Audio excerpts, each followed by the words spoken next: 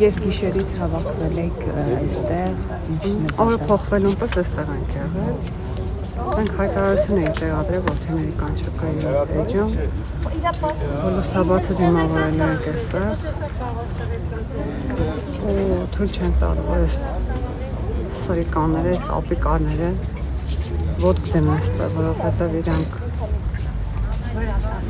դրա իրավունքը չունեն ընդհանրապես։ Իրանք այստեղի իմաստը չեն հասկանում ձևական բնույթի Միջի ժամը չի եկել Նիկոլ Փաշինյանը։ դեռ ոչ ոք։ Մենք ամբողջ գիշերը եղել, ոչ ոք չի եկել։ Այն կողմից պսակ դրեցին, դրեցին, ոչ ոք դեռ չի եկել։ Կարծում եք ձեր հայտարարությունն է նայում փաստել, որ Փաշինյանը չի եկել եղել։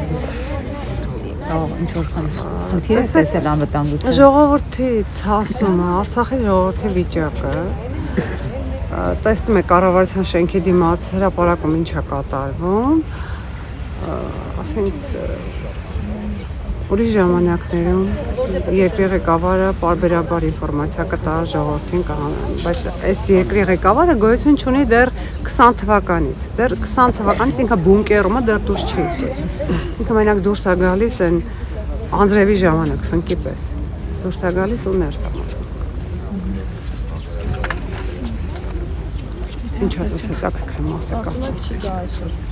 Կարծում եմ չի գա։ Առնելով այն իրավիճակը, որ ստեղծված է։ Հաշվի առնելով ով է ինքը, իր վախկոտության աստիճանը, կարծում եմ չի գա։ Ժամը քանիսից եք այստեղ հետել։ 24:00